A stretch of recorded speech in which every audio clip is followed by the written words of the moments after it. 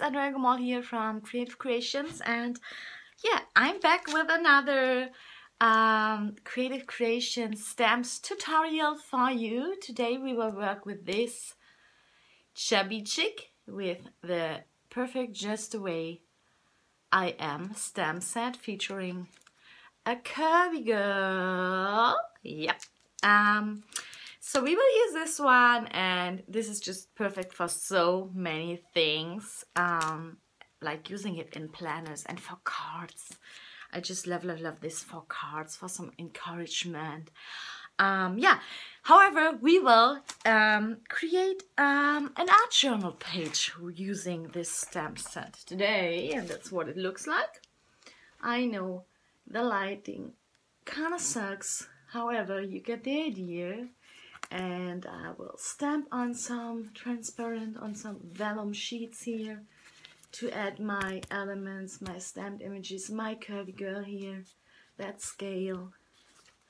And yeah, we will create the background using distress oxides and some texture paste, um, collaging some book pages, uh, using Faber-Castell gelatos, some acrylic paint, some stamping.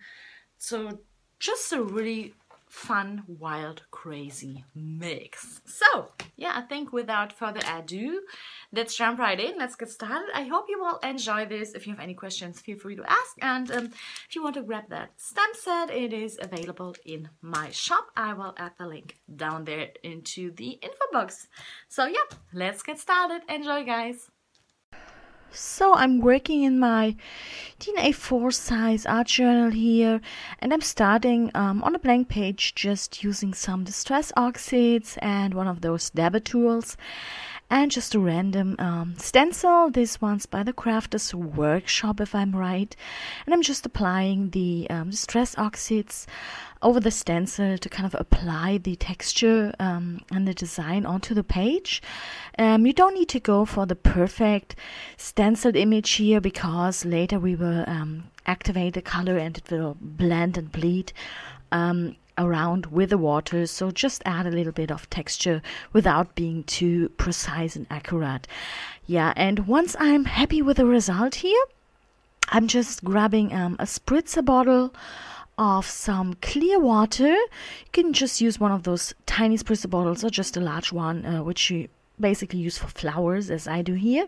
And then I'm just applying the water onto the page, just spritzing the designs here and this will activate the color from the distress oxides so they will kind of blend and bleed and uh, mix and mingle. Make sure you don't add like too much water because you still want to keep a little bit of the basic design. And once this is dry, I'm applying a little bit of white acrylic paint just to kind of mute the page a little, adding it with my brayer and then grabbing some old book pages here from some vintage flea market finds and uh, gluing those uh, scraps from the book pages to my page, adding a little more on another layer of a little more white acrylic paint with my brayer. So kind of it's a back and forth, um, just adding in layers. Next I'm grabbing a stencil and I'm just applying a tiny bit of some spray paint here. This is actually a spray paint that I made myself just using or some um, watercolors um, and adding some water and some like um, iridescent medium. So I kind of ended up with a spray paint very similar to uh, Glimmer Mist. And next I'm adding some spritzes here of this, just using this like um, this thingy from the bottle to add some larger splatters. Yeah. Next I'm using some black archival ink here and just a random background stamp, design stamp. Uh, and I'm stamping it onto the page to add a little more texture again. And uh, yeah, next some Faber-Castell gelatos. Just creating some random circles here using the gelatos. And I tried to pick some colors that are kind of matching the distress oxide colors that I already used in the background. Um, yeah, then I'm just kind of um, spreading it out, and blending it with my fingers. And because of the uh, watercolor paper in the journal and the underneath layer of acrylic paint, this blends really nice with your finger. If it doesn't work, you can just use a baby wipe and this makes it easier, the blending. As you can see, I'm just adding a little bit of a different color here, some pink and some yellow, just to add a little bit more depth and dimension to those um, circles. And this kind of makes them uh, appear a little more like um, dimensional bubbles yeah? And just a little bit of shading down here with uh, green Faber-Castell gelato.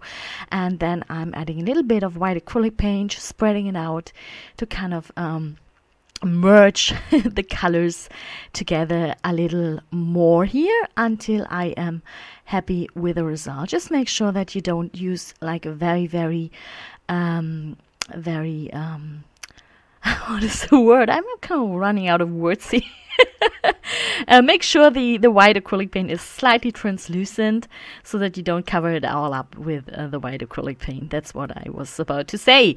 Yeah, next I'm grabbing a brush and some black acrylic paint, just adding a very loose, doodly um, outline to those circles here. Just really using or, yeah, taking advantage of the pressure on the brush here so that I end up with a variation in the thickness of the line um, adding some extra circles here, just uh, playing, having fun, and adding some marks here to the page, just some black marks, brush marks. So really, it is no rocket science uh, behind this, just some uh, a random mix and match and play, and just having fun and doing what feels right and what what I kind of feel like doing. So it's sometimes hard to explain. Um, yeah, so next step, once everything is dry, I'm grabbing another stencil and some white texture paste here, a white lightweight texture paste just to kind of mute the whole page down a little and to kind of bring all the elements, the foreground and the background a little more together.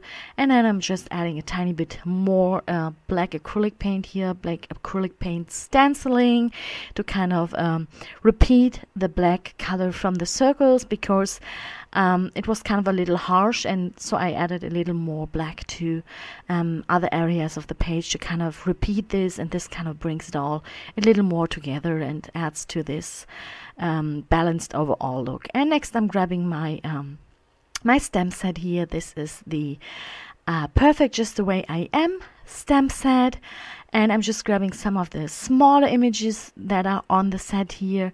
And then I'm just using black ink to stamp them directly onto the page here.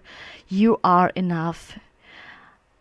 And the next one here is um, confidence. So really just um, adding to the background design. And then I have just some scraps of um, normal graph paper just note paper and I'm just inking it with my distress oxides and then I'm adding a little bit of water and a little more of the distress oxides to kind of add a little bit of color to this all those graph paper scraps here before I'm applying them to my page here.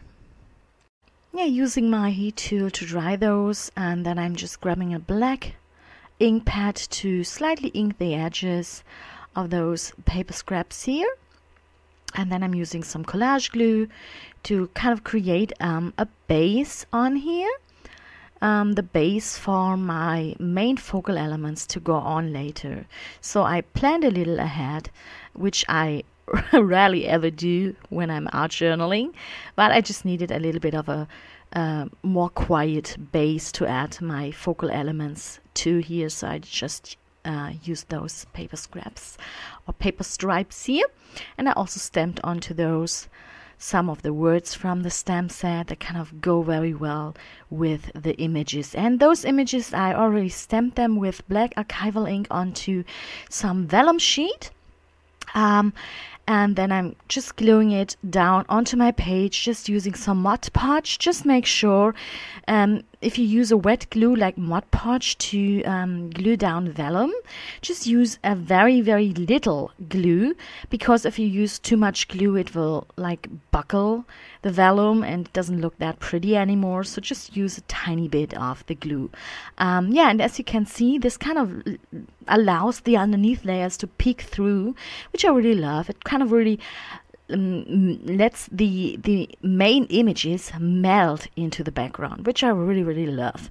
And then I'm just using some white here to um, yeah add some paint splatters. And in the next step, I'm using my orange and my uh, neon pink irresistible.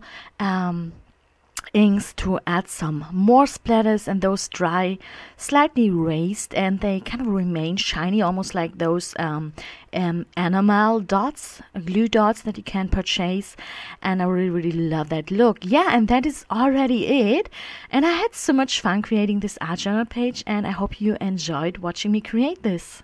If you enjoyed the stamps that I used in this tutorial, you can find all of my Creative Creations clear stamps, many different playful whimsical sets which are perfect for creating happy mail, pocket letters, art journaling, cards, for scrapbooking, for planner girls. In my shop you can find the link below the video or just hop on over to the link displayed and um, yeah check them out and grab your favorites.